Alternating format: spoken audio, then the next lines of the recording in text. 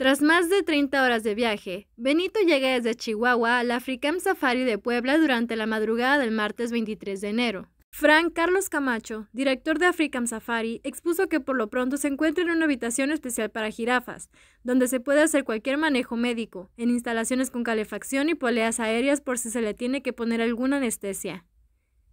El caso de Benito se volvió viral debido a la campaña Salvemos a Benito, que abogaba por el animal de 5 metros de altura, ya que la jirafa fue el sucesor de Modesto, otra jirafa macho víctima de las condiciones precarias del Parque Central de Juárez, Chihuahua. Y es que este lugar solo cuenta con una caseta sin puertas para el refugio de las jirafas, lo que provocó que Modesto perdiera su cola y orejas debido a las temperaturas extremas a las que estaba expuesto. Y aunque parecía que a Benito le tocaría un destino similar, fue finalmente rescatado y ahora se encuentra en African Safari, un parque de conservación de vida silvestre con el que compartirá vida con otras jirafas del lugar. ¿Qué te parece?